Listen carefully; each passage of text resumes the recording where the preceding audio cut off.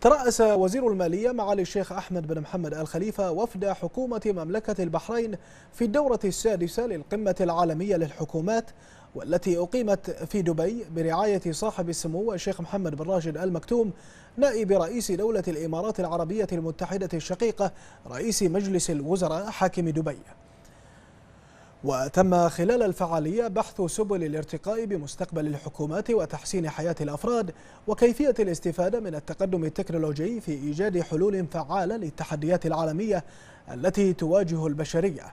وذلك بمشاركة واسعة ضمت نخبة من القادة وصناع القرار والخبراء والمفكرين وكبار رجال الأعمال من مختلف أنحاء العالم وشملت حوالي أربعة آلاف شخص من 150 دولة.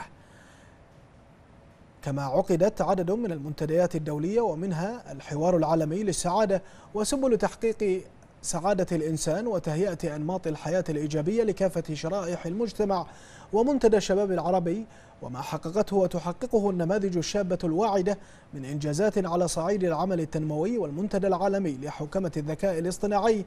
ومنتدى التغير المناخي.